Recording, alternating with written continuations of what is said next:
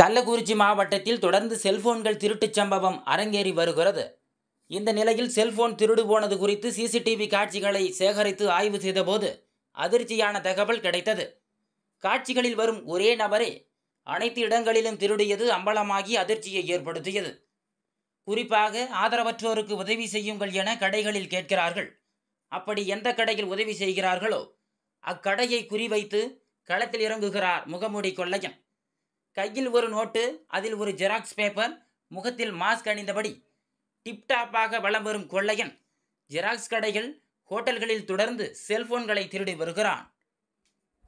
கள்ளக்குறிச்சி ஏமப்பேர் சாலையில் உள்ள ஜெராக்ஸ் கடையில் இரண்டு ரூபாய்க்கு ஜெராக்ஸ் போடச் சொல்லி மாஸ்க் அணிந்தபடி வந்த நபர் ஒருவர் உரிமையாளர் ஜெராக்ஸ் எடுக்கும் நேரத்தில் கடையின் உரிமையாளரின் செல்போனை திருடிச் சென்றுள்ளார். இது பற்றி அக்கடையின் உரிமையாளர் சிசிடிவி காட்சிகளை கொண்டு போலீசில் புகார் அளித்தார்.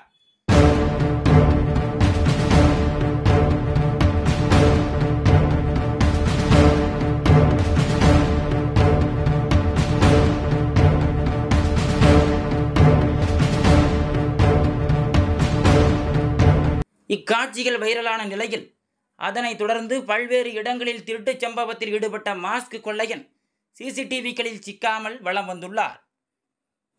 கள்ளக்குறிச்சி காந்தி சாலையில் உள்ள ஒரு ஜெராக்ஸ் கடையில் சிசிடிவி இல்லை என நினைத்து திருட்டில் ஈடுபட்ட மாஸ்க் கொள்ளையன் மீண்டும் சிக்கினான்.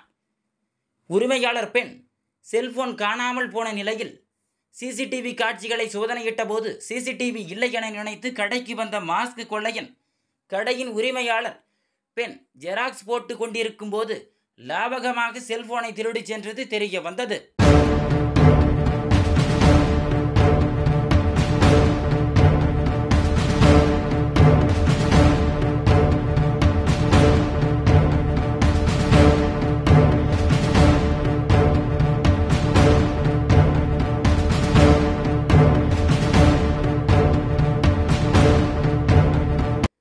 தொடர்ந்து அன்றே சங்கராபுரம் பகுதியில் செயல்பட்டு வரும் ஒரு தனியார் உணவகத்திற்கு சென்ற மாஸ்க் கொள்ளையன் ஆதரவின்றி இருப்பவர்களுக்கு உதவி செய்யுங்கள் என கேட்டபோது அக்கடையின் பெண் உரிமையாளர் பணம் கொடுத்துள்ளார்.